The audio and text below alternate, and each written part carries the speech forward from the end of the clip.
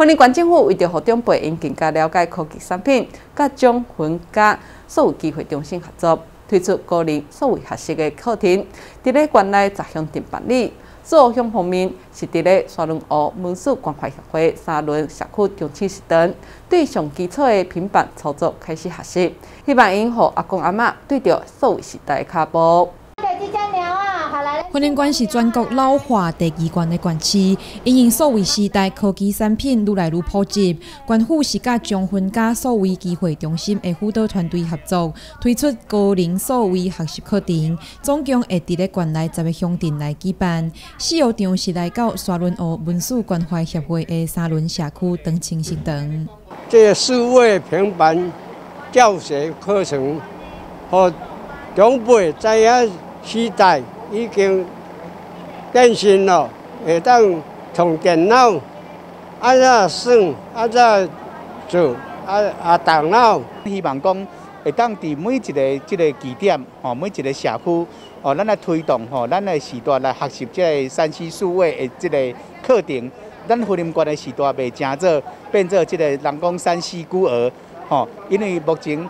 包括讲，咱真侪少年人，吼，真侪即个呃社会大众，拢用即个三 C 产品咧做交通、咧做生活，诶，即个使用吼。所以，咱希望讲，咱的长辈，大家会当透过阮课程的安排，做为来学习，混合即个社会，含即个时代，会当做连接。即个课程老师是早来二十外台的平板电脑，全是大人对基本的点甲背来教起，互大家操作简单的游戏来练习。半数以上的长辈，他们都没有接触过。所以，我们主要是有点像是让他们体验的概念，因为平常时他们没有接触的机会，所以他们会以为在上电脑课，那他们就会恐惧，他们都会说：“哎，黑我没跳，好啊，我这边痛啊。”那所以，我们我们在设计课程的时候，会以游戏的方式，让他们在不知不觉的时候，就是可以慢慢的去接受，哦，原来现在的平板跟他们想的不大一样。我们可以用更轻松的那个